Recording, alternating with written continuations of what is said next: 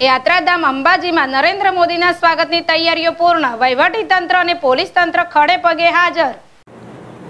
આજે ભારતના પ્રધાનમંત્રી નરેન્દ્ર મોદી અંબાજી આવવાના હોય તેમના સ્વાગત માટે અંબાજીમાં સંપૂર્ણ તૈયારીઓ કરી લેવામાં આવી છે અને વહીવટી તંત્ર અને પોલીસ તંત્ર ખડે પગે સજ્જ થઈ ગયું છે. અંબાજી નજીક ચીખલામાં કે જ્યાં નરેન્દ્ર મોદીની સભા થવાની છે તે સભાસ્થળને પણ સંપૂર્ણ રીતે તૈયાર કરી દેવામાં આવ્યો છે. પાર્કિંગ માટેની વ્યવસ્થા પણ કરી દેવામાં આવી છે અને પબ્લિકને બેસવા માટે અને પાણીની સુવિધા પણ કરવામાં આવી છે.